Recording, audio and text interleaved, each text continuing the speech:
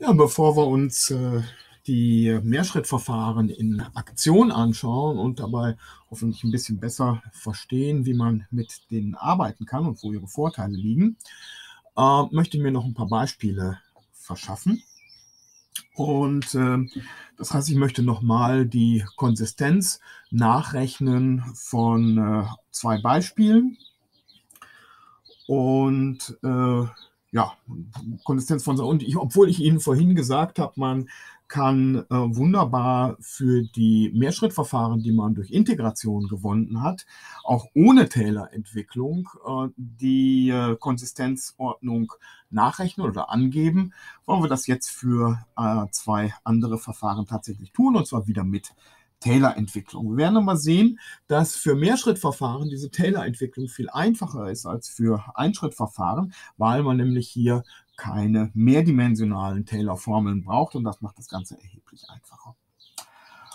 Okay, also wir schauen uns das an und äh, äh zunächst mal, wir wollen nachrechnen die Konsistenz für einige Mehrschrittverfahren. Das heißt, ich brauche erstmal die Definition. Die Definition des Konsistenzfehlers oder lokalen Diskretisierungsfehlers ist Tau h von t und y von t ist 1 durch h mal die Summe j gleich 0 bis m Alpha j y von t plus j mal h minus Summe j gleich 0 bis m Beta j f von t plus j mal h und y von t plus j mal h.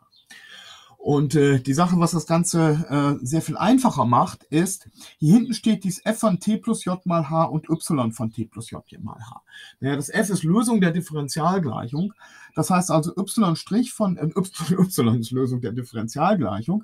Das heißt also y' ist gleich f oder mit anderen Worten y' von t plus j mal h, und dafür das irgendein Grund mal zu, ähm, ist gleich f von t plus j mal h und y von t plus j mal h.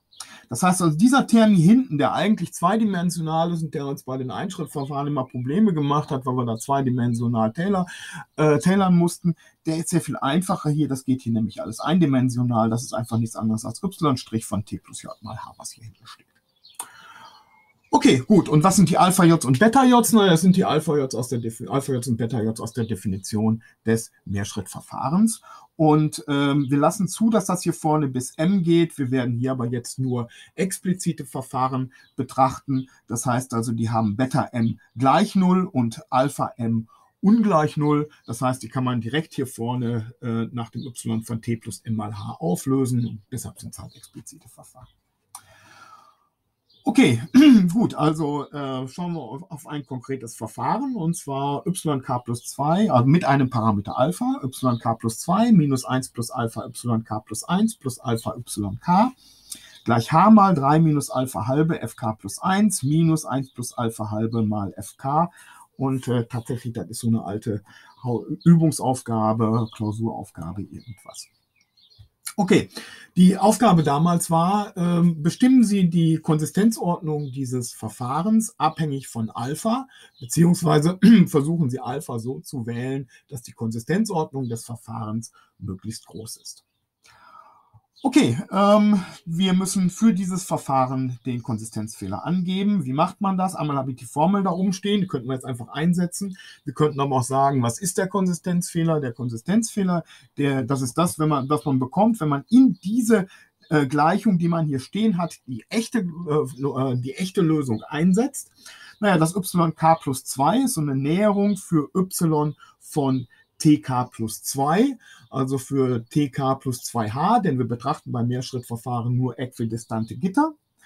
Und äh, das heißt, also hier steht ein y von, und das setze ich jetzt einfach ein für dieses yk plus 2, ersetze nochmal t äh, durch t und dann wird dieses yk plus 2 hier vorne zum y von t plus 2h. Hier vorne yk plus 1 ist eine Näherung an die Lösung an der Stelle tk plus h. Also wird das jetzt zu einem y von tk plus 1, äh, tk plus h, wenn ich die echte Lösung einsetze. Und entsprechend steht hier vorne ein y von t und genauso auf der rechten Seite. Ja? Also, und da setze ich natürlich gleich jetzt hier vorne meine Formel ein, nämlich äh, hier steht eigentlich jetzt so ein f von t plus h, y von t plus h und das vereinfache ich direkt mal zu y' von t plus h und hier auch ein y' von t, sodass wir jetzt hier tatsächlich nur eindimensionale Formeln stehen haben und das heißt, Taylor müsste es einfach geben. Okay, gut. Also Sie können sich genauso gut natürlich vorstellen, ich hätte einfach nur äh, diese, dieses Alpha-J äh, und Beta-J, die ich hier habe, tatsächlich in diese Formel da oben eingesetzt. Kommt natürlich auch genau das raus, was hier steht. Okay, gut. Also ähm, machen wir wieder Taylor y von t plus 2h ist in dem Fall natürlich relativ einfach. Das 1 durch h steht schon vorne. y von t plus 2h y' von t plus 4h Quadrat halbe y2' von t plus 8h hoch 3 Sechstel y3' von t plus ein Groß-O von h hoch 4. Das ist der erste Term hier vorne. Und äh, ich werde häufig gefragt, naja, woher weiß ich denn jetzt, ähm, bis, zu welcher, äh, bis zu welcher Ordnung ich hier vorne tatsächlich tailern muss? Naja, also in äh, Klausuraufgaben etwa steht, äh, sind die Aufgaben immer formuliert in der Form, ähm, zeigen Sie, dass das mindestens die Ordnung mhm, hat.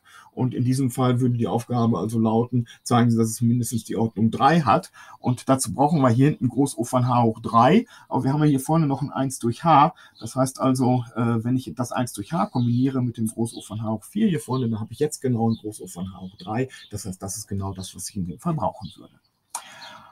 Okay, äh, minus 1 plus Alpha mal y von t plus h entwickeln wir genauso. y von t plus h mal y' von t plus k Quadrat halbe y2' von t plus h hoch 3 Sechstel y3' von t plus ein Groß O von h hoch 4. Und äh, hier steht ein y von t, da brauchen wir gar nicht zu entwickeln, da kommt nicht mal ein h drin vor. Okay, dann äh, der zweite Teil hinten, ähm, 3 minus Alpha halbe mal y' von t plus h, entwickeln wir auch um t, gibt ein y' von t, plus h mal y2' von t, plus h Quadrat halbe y3' von t, plus ein Groß O von h hoch 3. Warum höre ich jetzt hier schon auf? Naja, hier vorne steht jetzt kein 1 durch h, das heißt, das Groß O von h hoch 3 ist genau das, was wir brauchen. Ne? Das, wir, kommen hier, wir gehen hier genau bis zum Groß O von h hoch 3, das ist genau das, was wir brauchen, also kann ich hier aufhören. Dann haben wir hier noch ein minus 1 plus Alpha halbe y' von t und äh, naja, also da ist kein h drin, da brauchen wir nicht zu entwickeln.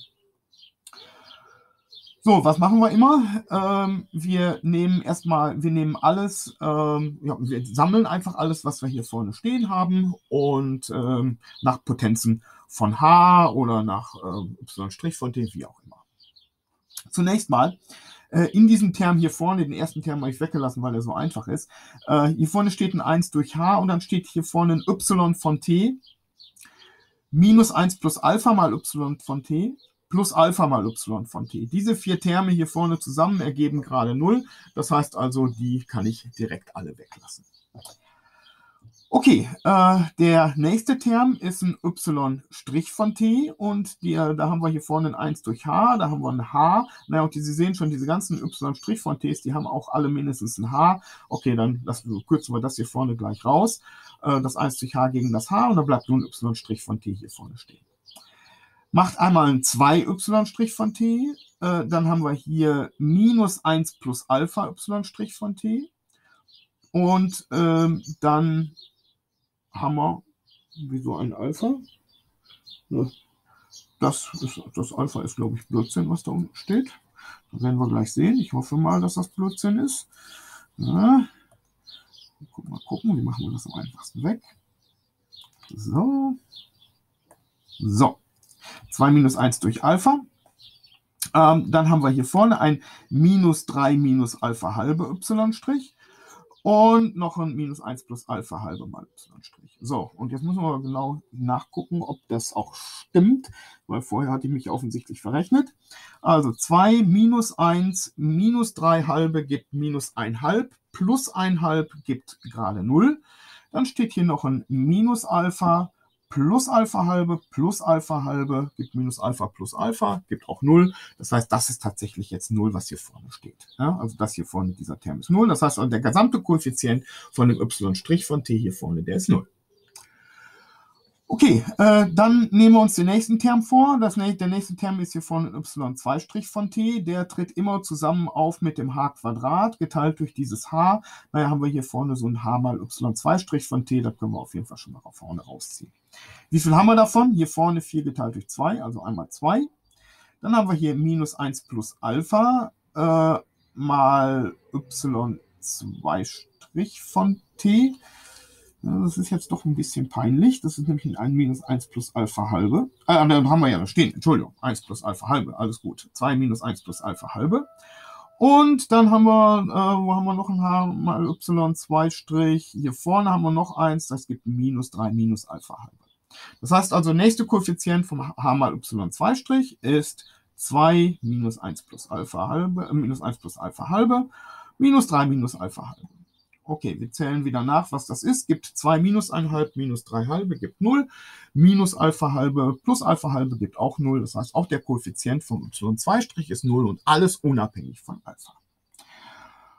Okay, dann der nächste Term ist ein y3' hier oben in der Entwicklung. Der taucht immer auf zusammen mit dem h hoch 3 geteilt durch h, also zusammen mit dem h Quadrat. Ich hole wieder ein y3' mal h Quadrat raus. Wie viel haben wir davon? Hier vorne einmal 8 Sechstel, also 4 Drittel. Dann haben wir hier vorne ein minus 1 plus Alpha Sechstel. Und dann haben wir noch ein minus 3 minus Alpha halbe mal diesem 1 halb gibt minus 3 minus Alpha Viertel. Habe ich alles hier vorne stehen. Und diesmal ist das leider nicht 0. Und äh, wie viel, zählen wir nach, wie viel Zwölftel das sind. Das sind also 16 Zwölftel minus 2 Zwölftel, gibt 14 Zwölftel. Äh, minus 9 Zwölftel gibt 5 Zwölftel. Jawohl, die haben wir hier vorne auch stehen. Und wie viel Zwölftel haben wir hier vorne? Das gibt äh, zwei, minus 2 Alpha Zwölftel plus 3 Alpha Zwölftel gibt Alpha Zwölftel. Das heißt also tatsächlich, dieser Wert hier vorne ist 5 Zwölftel plus Alpha Zwölftel. Okay, ähm, das heißt, wann geht auch dieser Term raus? Wann ist auch der 0? Wenn wir Alpha gleich minus 5 wählen, dann haben wir tatsächlich hier vorne auch eine 0 stehen. Dann steht hier vorne also nur noch ein Groß O von h hoch 3. Andernfalls, wenn wir Alpha nicht gleich minus 5 wählen, ja, dann haben wir immer dieses h Quadrat hier vorne noch stehen und das heißt, wir haben eine Ordnung 2. Das heißt, und die korrekte Antwort auf die Frage, welche Konvergenzordnung erhalten Sie, wäre, wir erhalten die äh, äh Ordnung 2 für Alpha, mindestens die Ordnung 2 und sogar die Ordnung 3 für Alpha gleich minus 5. Okay, dieses Verfahren werden wir gleich insbesondere für Alpha gleich minus 5 untersuchen und werden dabei eine Überraschung erleben. Erstmal, was erwarten wir natürlich? Na, für Alpha gleich minus 5 haben wir besonders hohe Ordnung. Das heißt, wir würden erwarten tatsächlich, das Verfahren konvergiert besonders schnell. Der Konsistenzfehler ist besonders klein. Und äh, ja, müssen wir mal gucken, ob das tatsächlich richtig ist. Ähm, ich will Ihnen noch einen kleinen Hinweis darauf geben, dass vielleicht das Konvergenz- und Konsistenzverhalten bei Mehrschrittverfahren nicht so ganz einfach ist, wie es bei Einschrittverfahren war. Und zwar schauen wir uns mal an das folgende Mehrschrittverfahren, was absolut sinnvoll, sinnvoll will ich jetzt nicht sagen, aber was absolut legal und zugelassen ist, nämlich das Mehrschrittverfahren yk plus 2 minus 2yk plus 1 plus yk gleich 0. Das sind also die ganzen Beta-Ks auf der rechten Seite, die sind einfach alle null. Ja, könnte ja sein. Die einzige Voraussetzung, die wir haben, ist, dass der letzte, bei impliziten Verfahren ist, dass der letzte hier vorne 0 sein sollte. Das ist bestimmt der Fall, sind alle 0.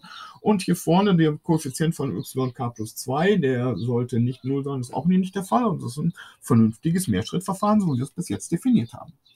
Wir setzen wieder ein in die Formel für den Konsistenzfehler, tau h und von t und y von t y von t plus 2h minus 2 mal y von t plus h plus y von t, einfach hier vorne eingesetzt, mal 1 durch h. Wir entwickeln wieder mit Taylor und erhalten y von t plus 2hy' von t plus groß O von h Quadrat, habe ich mal hinten hingeschrieben, minus 2 mal y von t minus 2 mal y' von t mal h ja, hier vorne einfach das hier entwickelt. Und dann haben wir noch ein Minus y von t, ja, und insgesamt ein Groß O von h Quadrat und natürlich das Ganze mal 1 durch h. So, jetzt zählen wir durch. Haben wir hier ein y von t, äh, minus 2 mal y von t. Äh, da habe ich jetzt ein Minus geschrieben hier vorne. Heute ist nicht mein Tag. Das ist natürlich ein Plus y von t. Also y von t minus 2 mal y von t plus y von t ist 0. Das ist gut. Und dann haben wir hier stehen in 2hy' von t minus 2hy' von t. Das ist auch 0. Das heißt, das Einzige, was überbleibt, ist dieses Groß O von h Quadrat hier vorne. Multipliziert mit 1 durch h ergibt das gerade ein Groß O von h. Mit anderen Worten, dieses Verfahren, das wir hier hingeschrieben haben und das ein bisschen seltsam aussieht, ist konsistent von der Ordnung 1. Wunderbar. Ja, Ist das sonderlich wertvoll, dass das konsistent ist von der Ordnung 1? Und das hängt überhaupt nicht von der Differentialgleichung ab. Hier steht eine Rekursionsgleichung für die YKs, die überhaupt nicht von der Differentialgleichung abhängen. Das heißt, ich kann die Differentialgleichung ändern, wie ich will. Ähm, da kommt immer hier vorne dieselbe Folge raus. Und dann ist jetzt natürlich die Frage, ja, wie soll denn das konvergieren gegen die Lösung der Differentialgleichung, wenn das, was hier steht, überhaupt nicht von der Lösung der Differentialgleichung abhängt? Und da hat man natürlich jetzt zum ersten Mal vielleicht so ein bisschen die Ahnung, also ähm, das kann nicht funktionieren. Ja? Und äh, das werden wir gleich sehen, dass es tatsächlich nicht immer funktioniert.